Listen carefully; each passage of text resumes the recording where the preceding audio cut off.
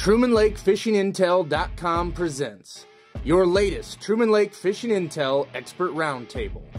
TrumanLakeFishingIntel.com is your premier resource for up to date expert fishing reports and videos to help you find the fish faster and become a better Truman angler. Multi species coverage includes crappie, catfish, bass, hybrids, and more.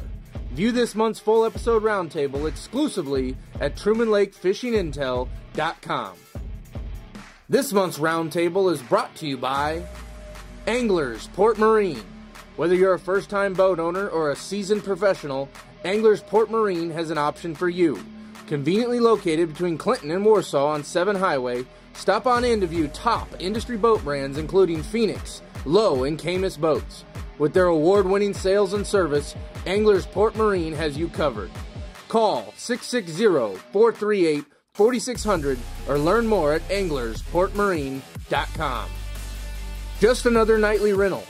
Owned by David and Gina Townsend, this lake area property located at 32640 Highway 43 in Warsaw is perfect for your next lake getaway. Sleeping up to 8, this home is located conveniently within a short drive to boat ramps on both Truman and Lake of the Ozarks.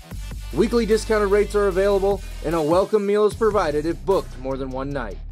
Call now to book your stay 660 287 7615.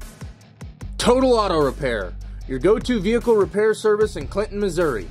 Located right across from City Hall, Total Auto Repair features a combined 62 years of auto repair experience. Master technicians for Ford, Chevy, and Toyota, and they have all ASE master certifications. Specialties include brakes, suspension, HVAC, electrical, drivetrain, and drivability. And a special discount is available for Truman Lake Fishing Intel members when you show them your premium account at the counter. Call 660-383-1136 to schedule your top-of-the-line vehicle service today. And now, let's start the show. Boys and girls, we are back again for another edition of the Truman Lake Fishing Intel Expert Roundtable. It is June 2023. We just came out of the holiday weekend for Memorial Day. We're coming into another holiday weekend here in a couple of weeks with July 4th. I've got a great cast here tonight. Starting on my right, Hunter Bowling, two third place finishes this past weekend. Good job, Hunter. Yeah. Third. Third. I'm still proud of you. He's going to talk about that here a little bit. Gary, who has been Richard Bowling's fishing partner for quite some time. 20 plus years. 20 plus years. So he's got some stories. I'm sure we'll see what we can get out of him here in a little bit. How old are you guys? Oh. Older.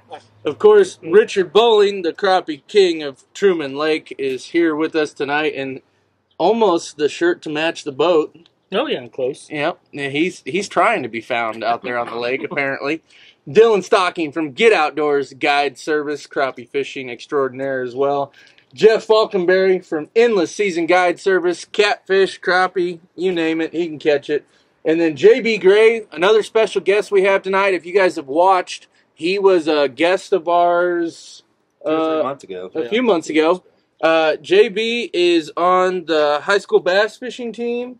Just uh, finished up in the was that the state championship? Yep, Missouri State Championship. Missouri State Championship uh, down in Stockton. So he's going to talk about that uh, a little bit here this uh, tonight as well.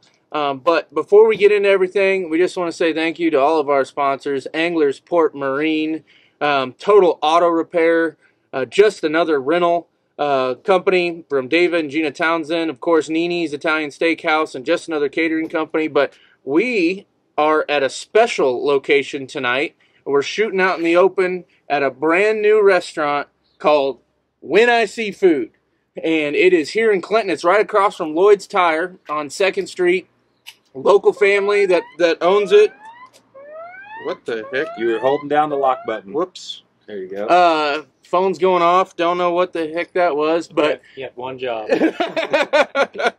uh, owned by a local family. They just started this up. It is really exciting. We've got a lot of great restaurants here in town. Everyone's used to the pizza, the Mexican, Mallards.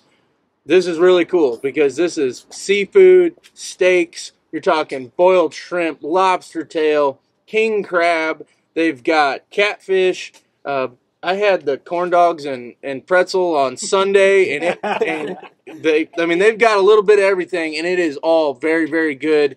Very excited. They had a soft opening here this past weekend. Uh, they're going to be doing kind of the grand opening here in a couple of weeks. But we really hope you guys come check them out. We're going to try to do a, several more videos here uh, throughout the summer. We had a ribeye tonight before the show started, and I'm telling you, there's not a ribeye within 40 miles like it. Yeah. very good. Very It was good. very, very good. Yeah. Um, and their shrimp, Potato. big shrimp, and we had the garlic butter Cajun seasoned shrimp. They were absolutely incredible.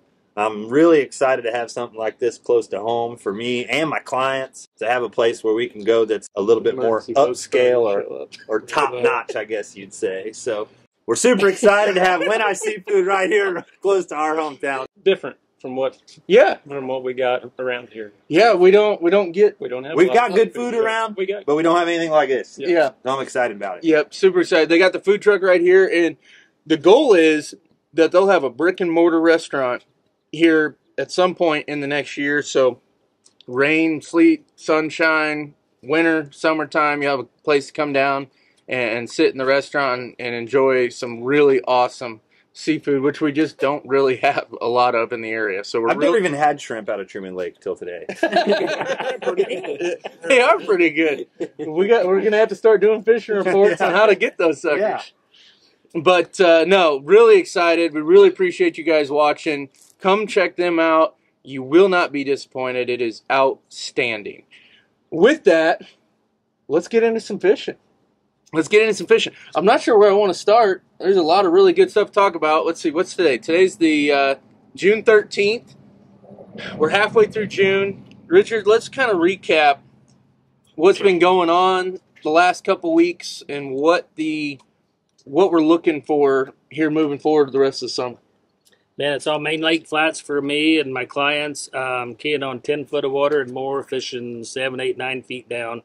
Just keep it on the move, getting on any flat that's got a tree row, a road bed, a fence row. Look for a fence row, isolated trees, and it's it's going to be the same bite for next three months. Mm-hmm. Um, it's going to get better and better. Still a lot of fish coming out of these creeks to get on these main lake flats to, you know, for the summertime stuff. But right now it's pretty easy. You can get down toward Long Shoal and you're going to get in big groups of fish, which I don't like to do. I don't like to go through a lot of little fish. Mhm. I do. I know you're I know.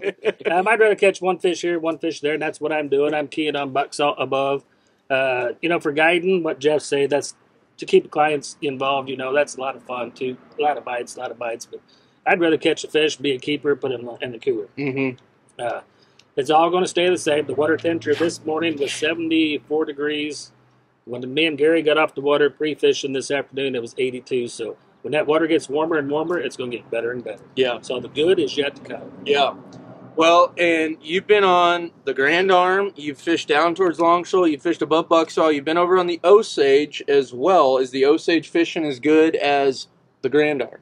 The Osage was actually